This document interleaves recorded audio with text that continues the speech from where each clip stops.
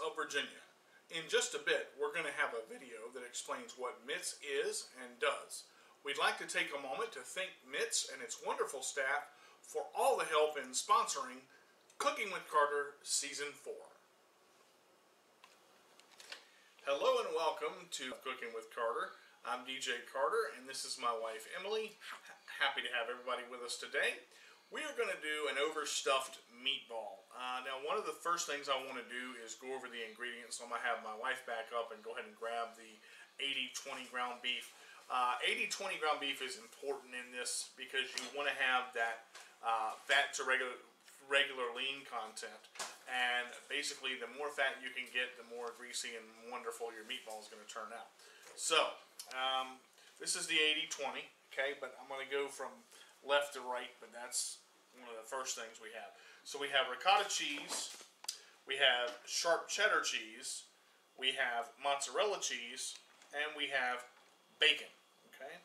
Um, now, I went ahead and got the cheese sticks because it's a little bit easier to have the cheese melt in the meatball instead of doing a sliced cheese or cheddar cheese it will burn quicker and that melting point is going to be just a little bit longer on the mozzarella and the sharp cheddar also, it gives you a different chance to have some other varieties in there as far as what you want to do.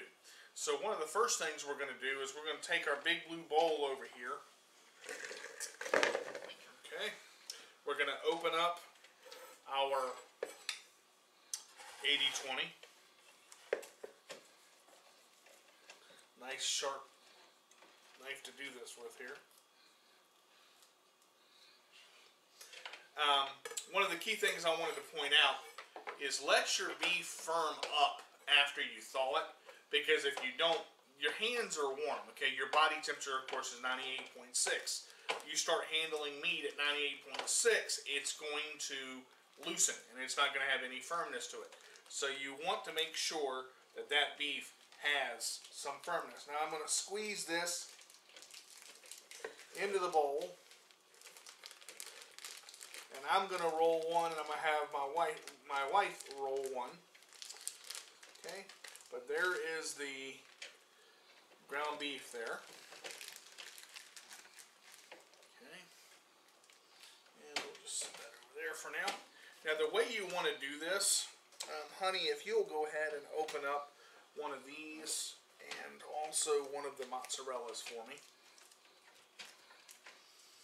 Now, here's the trick to everything, okay? With a meatball, it does not have to be that large, okay? A meatball, a hand-sized meatball, if you take it and roll it,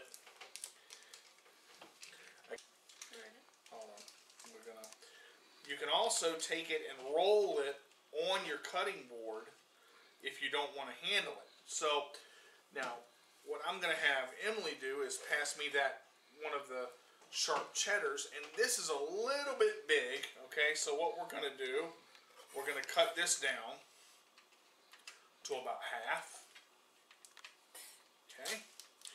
We're going to take this half we're going to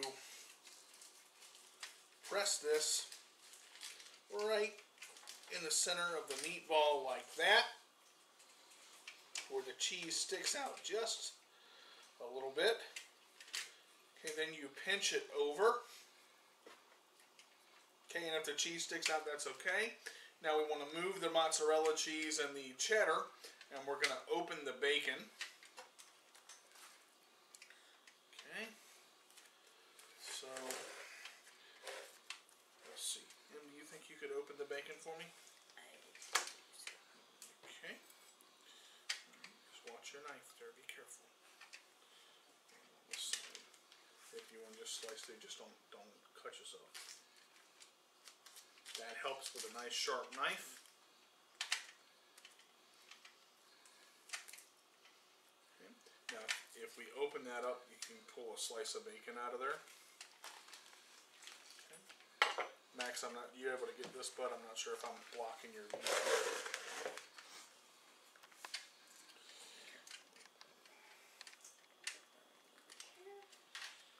So I'm going to take out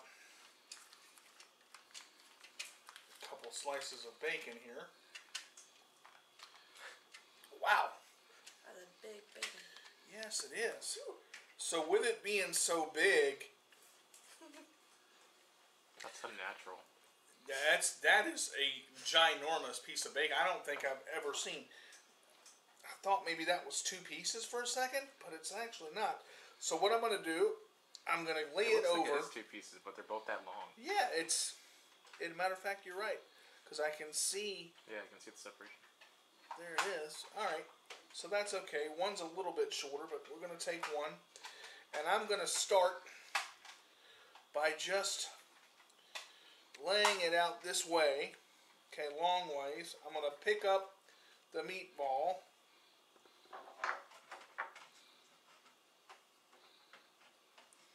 And pick up the bacon, slide that over. Okay, we're going to roll this and continue to roll this just like that. Maybe lay the other one across. Okay, It's shorter.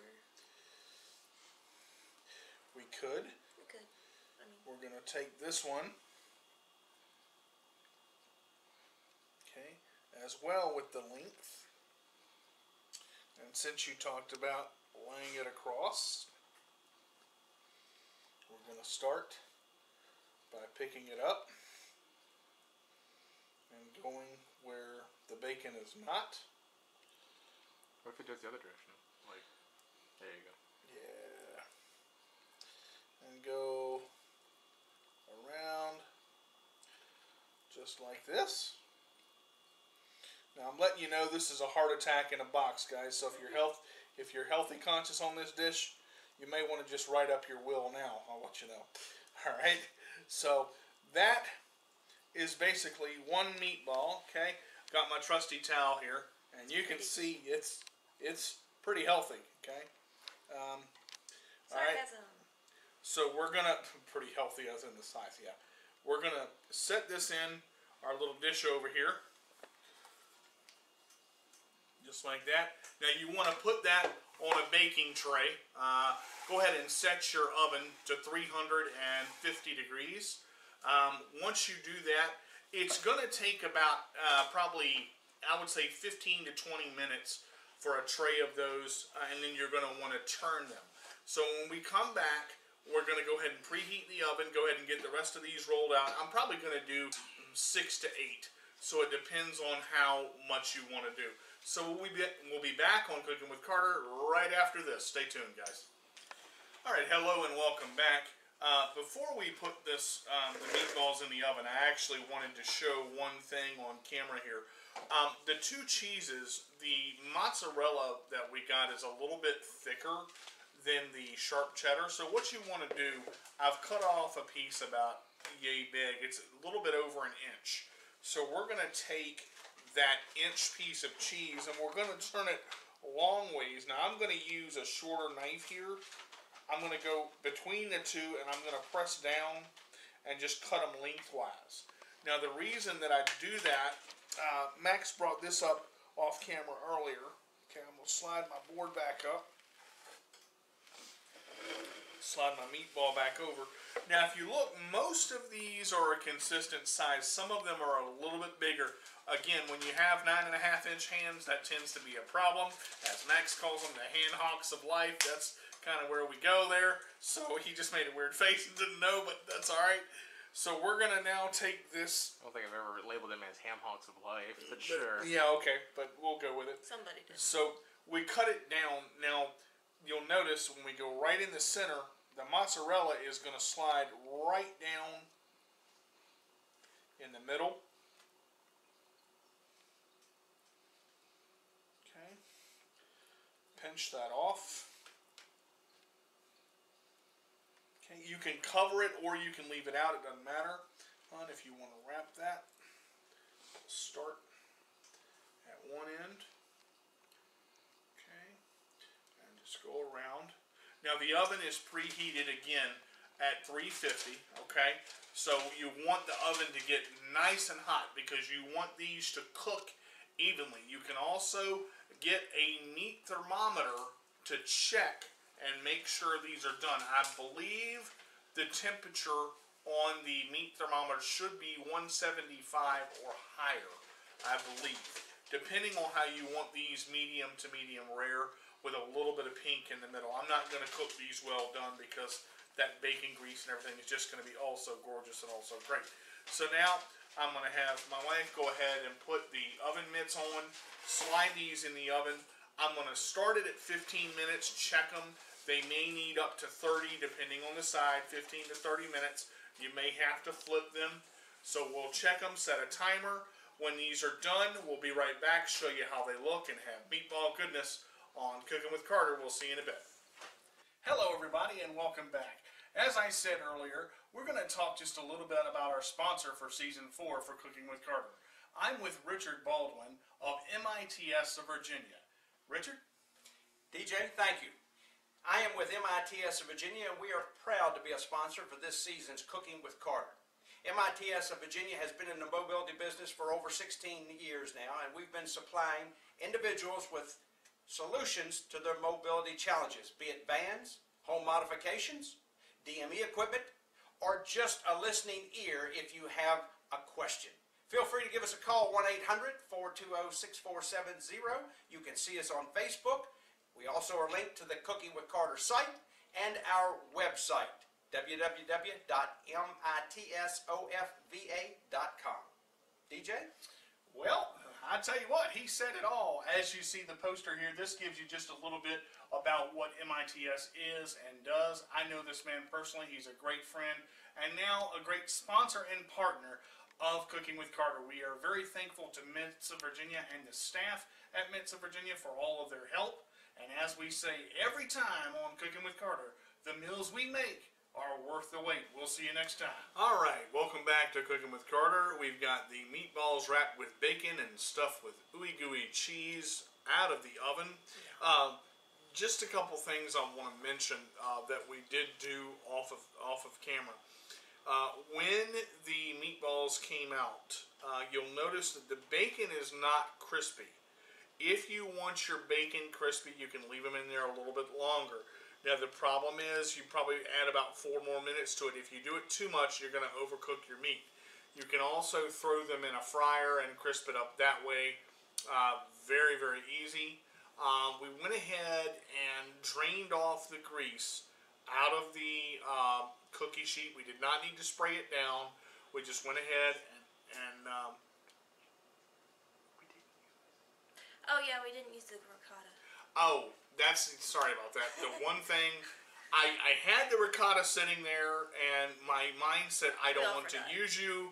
My brain shut off, and the It turned invisible for me. I didn't see yeah it at all. I, I don't know.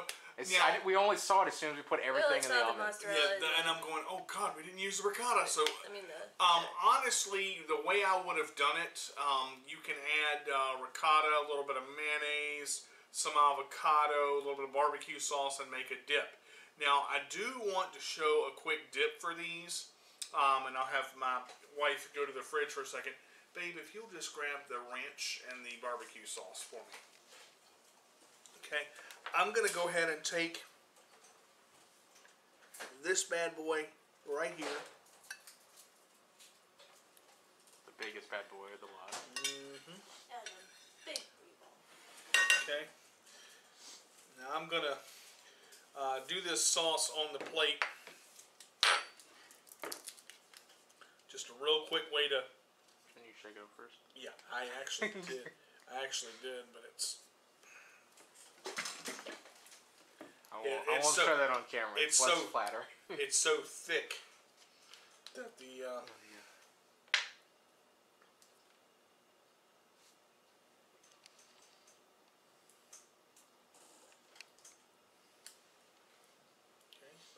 barbecue sauce, maybe a teaspoon or so.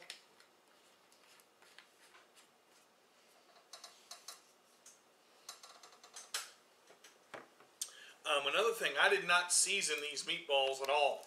Um, Oh yeah. and we don't really need to. The bacon Yeah, bacon. and the grease will actually take care of all the seasonings. I didn't use any any garlic or anything. I did not forget. I know cooking with Carter does season a lot. I'm actually amazed. Just a small city. We forgot the season. They everybody's going. Oh What? God, he didn't season. What's wrong with him? Something's He wrong. must be He's sick. Yeah, he didn't use 12 pounds of garlic and seasoned salt. And all right, so just take your ranch and your barbecue.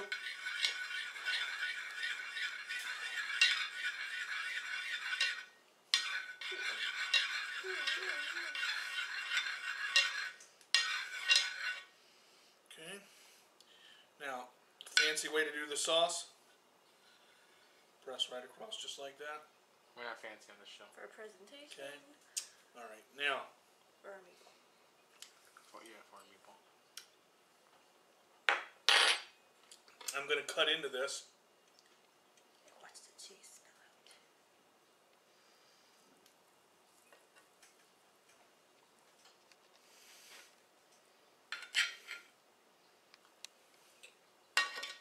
Okay. I'm actually going to get my fork to help hold it.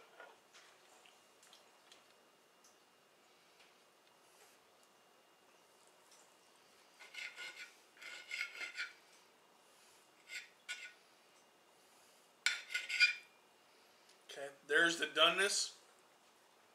The cheese is actually inside there. Oh, I don't even see it. Cheese is like absorbed. It's melted into the. Meatball. It's like And I'm gonna take a piece of this. I was expecting it to like flat out. Yeah, same. It, it did, and you notice in, in most of them you can see where it. Yeah, Yeah, you can see where it's. like a Uh, floodgate of cheese.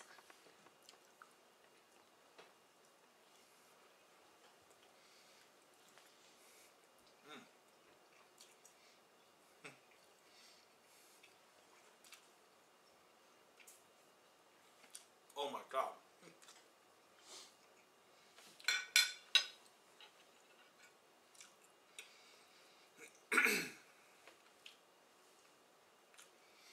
That is good.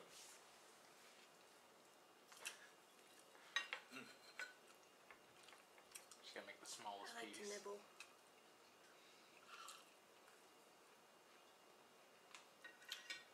That's awesome. Happy dance. Happy dance from the wife. Oh, that's that's like That's my taste the the, the the flavor of that. Mm. The sauce actually makes it even better. hmm Well, that's one of the reasons I wanted to do the sauce is because I didn't. It really didn't need seasoning actually. I mean, It, you could, I, I could have. I mean, it's it's, on honestly its that's the one thing I I can't believe I didn't do that. Honestly, I in, in, my mind I'm going, you moron, you didn't season it. Now that I've mentioned it on the camera, but but honestly, the bacon, the the taste of the bacon is is remarkable. Um, Max, you want a you want a piece of that, or you just I will off camera. Okay. Well, that's going to do it uh, as my you know brain reconstitutes to its normal you know brain activity. Jelly like self, you know. And yeah. season everything else. Um, so we'll see you again next time on Cooking with Carter, where the meals we make are worth the wait.